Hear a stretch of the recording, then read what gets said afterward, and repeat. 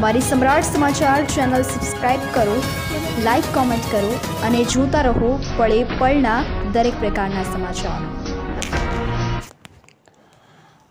તળાજા શહેરમાં મેમણ કોલોની વિસ્તારમાં રહેતા રહીમભાઈ ખોખર નામના વ્યક્તિની લાશ શેત્રુંજી નદીમાંથી મળી આવતા ખળભળાટ મચી જવા પામ્યો છે.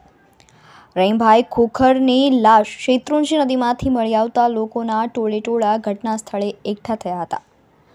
બનાવની જાણ તળાજા પોલીસને થતાં પોલીસનો મસમોટો કાફલો પણ તાત્કાલિક ઘટના સ્થળે દોડી ગયો હતો. રહીમભાઈ ખોકરના મૃતદેહને તળાજાની સરકારી હોસ્પિટલમાં પીએમ અર્થે ખસેડવામાં આવતા સામાજિક તેમજ રાજકીય આગેવાનો મોટી સંખ્યામાં દોડી આવ્યા હતા.